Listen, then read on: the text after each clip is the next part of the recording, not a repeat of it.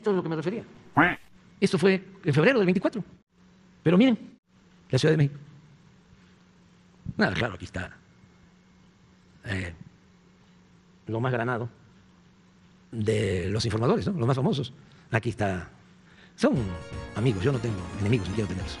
Pero aquí está Marín, está Loret, está Ciro, Joaquín, Azucena.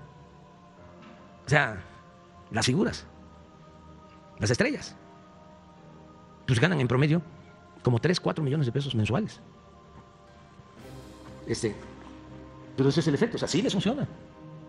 Nada más que ahora, estoy seguro que, no sé, viendo resultados, ya subió.